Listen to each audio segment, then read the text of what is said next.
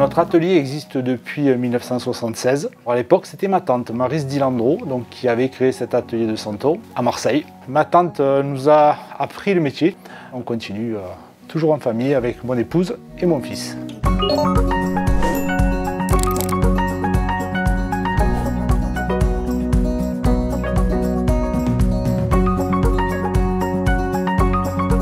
On n'a pas changé les process de fabrication depuis plus de 200 ans. Mais aussi, on essaie de rajouter euh, soit des modèles contemporains, soit des personnages connus.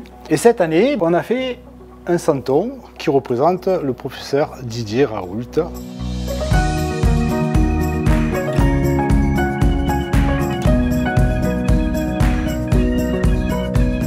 Fait euh, quasiment 70% euh, de notre chiffre dans les deux ou trois derniers mois de l'année. La boutique, elle est fermée. Il nous reste les ventes en ligne et le click and collect.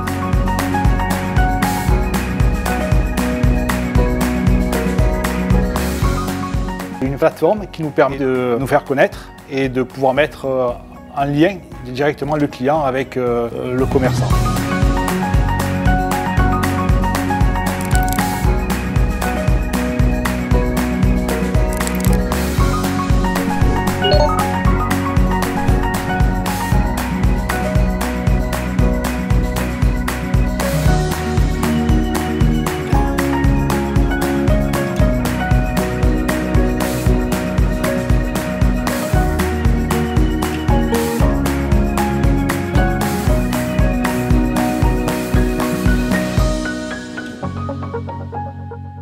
Thank you.